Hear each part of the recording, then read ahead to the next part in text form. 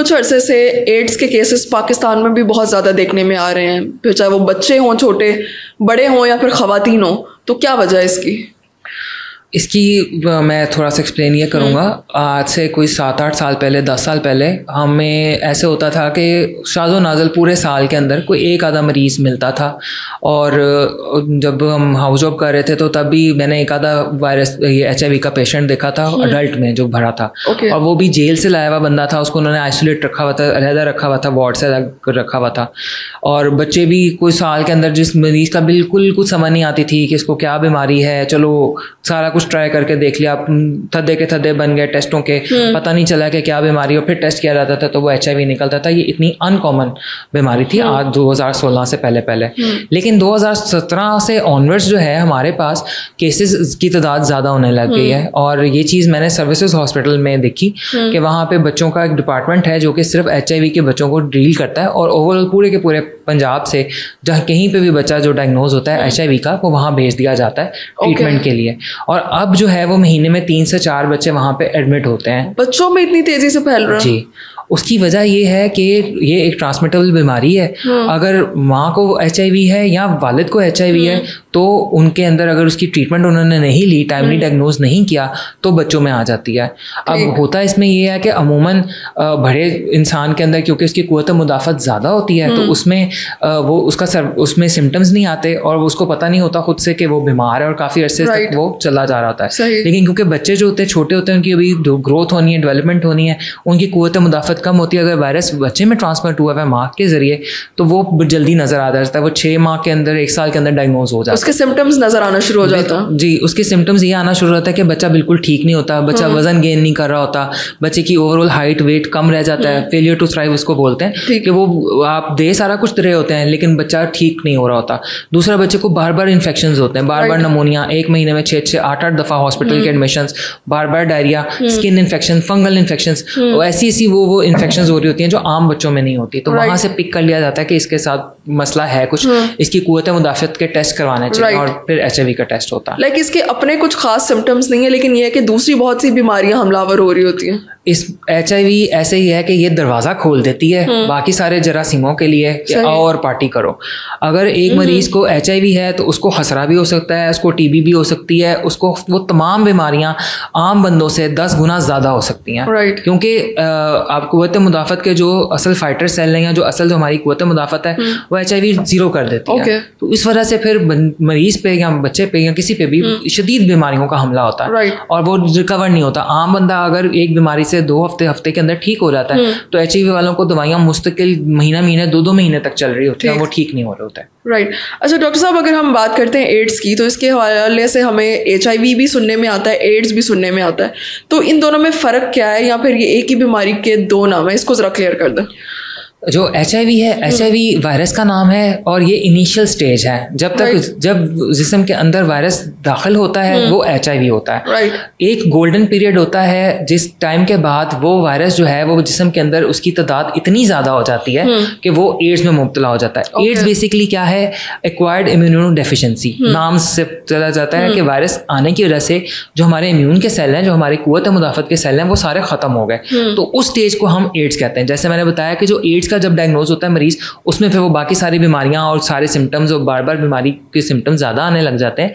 HIV के अपना it's जब वायरस एचआईवी का दाखिल होता है तो उसके अपने कोई सिम्टम नहीं होते। राइट right, जब वो बॉडी में एंटर होता है तो वो नॉन एक्टिव होता है। बिल्कुल। वो एच वायरस जिसम के अंदर दाखिल होता है वो एच हम्म। है हम्म। और वो खुद से सिर्फ़ फ्लू लाइक सिम्टम करता है। खांसी नजला जुकाम तीन चार दिन के लिए बंदे को सिर्फ़ खांसी नजला जुकाम होता है और वो वायरस जिसम में दाखिल हो जाता है। उसके बाद वो अपनी तादाद बढ़ाना शुरू करता है। हम्म। अगर एक है तो वो सौ सौ से वो लाख लाख से वो हम्म। हज़ारों करोड़ों में चले जाते हैं और वो हमारे जो कुत मुदाफ़त के सेल हैं उनको ख़त्म करके अपनी फ़ौज वहाँ पर बिठा देते हैं।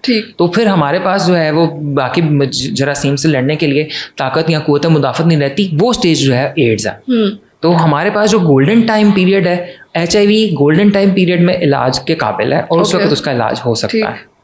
एड्स का नाम जो है ना, वो इट्सल खुद ही बड़ा ख़तरनाक है। लोग सुन के डर जाते हैं कि अब इसको एड्स हो गई है तो ये बंदा नहीं बचने वाला। एड्स का ट्रीटमेंट कोई आ गया है अब?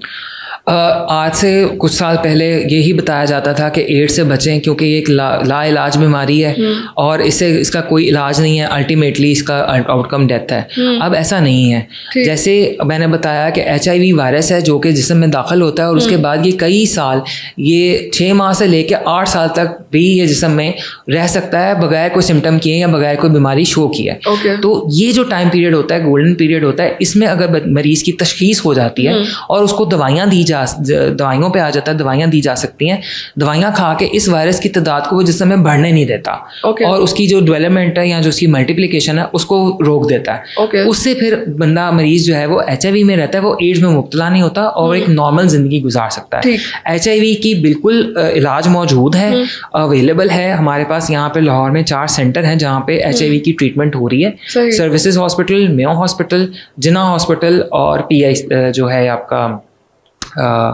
किडनी वाला किडनी ट्रांसप्लांट वाला जो हॉस्पिटल है वहाँ पे फ़ेज़ सिक्स में वहाँ पे बेसिकली इसका इलाज मौजूद है वहाँ पे ट्रीटमेंट जो मरीजों को निकल आते हैं एचआईवी पॉजिटिव निकल आते okay. हैं उनका हम पे कंफर्म करके दवाइयाँ स्टार्ट करा देते हैं सही एच पॉजिटिव के साथ एक इंसान कितने अरसे तक ज़िंदा रह सकता है या फिर उसका लाइफ स्पैन कितना हो सकता है ज़्यादा से ज़्यादा देखिए इसमें सबसे इम्पोर्टेंट ये चीज़ है जैसे हम बाकी बीमारियाँ डिस्कस हम्म। करते हैं जितनी जल्दी कोई बीमारी की तशखीस हो जाती है हम्म। उतनी ज़्यादा उसका लाइफ स्पैन या लाइफ एक्सपेंडेंसी ज़्यादा हो जाती है okay. मकसद ये कहने का अगर खुदा ना हास्ता मरीज़ अभी छः माह हुए हैं पॉजिटिव हुआ है साल हुआ है पॉजिटिव हुआ है और वो हम्म। दवाइयाँ इस्तेमाल करना शुरू हो गया तो वायरस ने अभी उसके जिसम को खाना नहीं शुरू किया होता और वायरस पे दवाई भी जल्दी असर करती है और उसकी तादाद को कम करके एक इंसान नॉर्मल ज़िंदगी गुजार सकता है। जितनी उसकी ज़िंदगी लिखी अल्लाह ताला ने वो गुजार सकता है नॉर्मल शादी कर सकता है बच्चे पैदा कर सकता है लेकिन अंडर सुपरविजन अगर मरीज़ पॉजिटिव है तो उसको दवाई पर जितनी जल्दी आप डाल डाल सकते हैं या वो ले सकता है शुरू कर सकता है उतनी उसकी ज़िंदगी बेहतर हो जाती है और वो नॉर्मल ज़िंदगी गुजार सकता है। ठीक है। डॉक्टर साहब एड्स का जो वायरस है ये कितने तरीक़ों से फैल सकता है? क्योंकि बहुत सारे लोगों को पता ही नहीं है। आप बताएँगे किस तरह फैलता है ताकि लोग जो है वो अपना बचाव कर सकें? एड्स का जो वायरस है बेसिकली एचआईवी वायरस है एचआईवी वायरस है हम्म। और ये उसी क्लास का उसी फैमिली का वायरस है जिसका वायरस जिस तरह हेपेटाइटिस सी और बी वायरसेस हैं। Okay. जैसे वो फैलते हैं वैसे ये फैलता है और इनकी हिस्ट्री या इनकी जो बिहेवियर है बॉडी के हम्म। अंदर जिसम के अंदर वो तकरीबन एक जैसा है। एच आई वी फैलने के तीन से चार वजूहत हैं। हम्म। सबसे पहले ये है कि सेक्सुअल कांटेक्ट हम्म। अगर आप एक ऐसे इंसान के कॉन्टैक्ट में आए हैं जो एच आई वी पॉजिटिव है हम्म। तो उसके जिसम से हमारे जिसम में वायरस मुंतकिल हो सकता है। दूसरा इसका तरीका ये है कि अगर आप ब्लड लगवा लेते हैं अक्सर अमूमन खातन को प्रेगनेंसी के दौरान बच्चे की डिलीवरी के बाद या खून की कमी की वजह से लोग ब्लड्स लगवा रहे होते हैं। छोटे बच्चों को भी ब्लड लग रहा होता है। बहुत सारी खून की बीमारियाँ ऐसी हैं थैलेसीमिया या और ऐसी बीमारियाँ हैं जिनमें खून की तादाद ज़्यादा लगती है या खून बार बार लगवाना पड़ता है। तो उन बच्चों में भी वायरस ये एचआईवी के आने के चांसेस ज़्यादा होते हैं।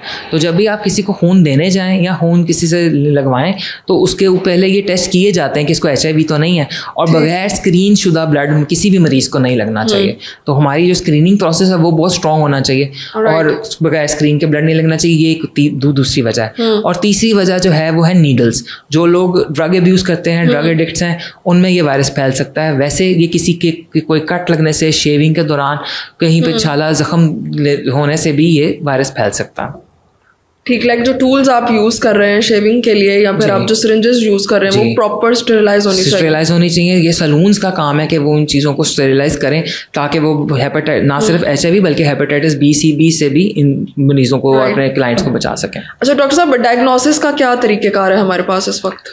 डायग्नोसिस के लिए ये है कि हमारे पास दो तरीके कार हैं। हम्म। एक तरीका कार कहलाता है स्क्रीनिंग टेस्ट स्क्रीनिंग टेस्ट जो है हमारे जैसे हॉस्पिटल मैंने बताया वहाँ पे मौजूद है। वहाँ पे जो पेशेंट जिसका शुबा होता है हम उसका स्क्रीनिंग टेस्ट करते हैं। उसमें किट मेथड इस्तेमाल होता है। तीन किट्स हैं जो कि सेंटर पे मौजूद होती हैं। हम्म। हम सबसे पहले किट मेथड से स्क्रीन करते हैं। वो जो स्क्रीनिंग मेथड है वो कोई भी इंसान जाके अपना टेस्ट एक साल में एक दफ़ा करवा सकता है स्क्रीनिंग टेस्ट करवा सकता है। अगर खुदा ना हास्ता वो स्क्रीनिंग टेस्ट पॉजिटिव आ जाए हम्म। तो उसके बाद उसको कंफर्म करने के लिए एक पीसीआर टेस्ट होता है जो कि प्रॉपर ब्लड टेस्ट होता है वो करवाया जाता है। वो फिर सही ये बताता है कि वायरस की शक्ल कौन सी है ये कौन सी फैमिली का वायरस है हम्म। कौन सी टाइप है और इसकी तादाद कितनी मौजूद है वो हम पीसीआर से कंफर्म करते हैं। उसके ऊपर से फिर दवाई शुरू होती है। राइट बहुत शुक्रिया।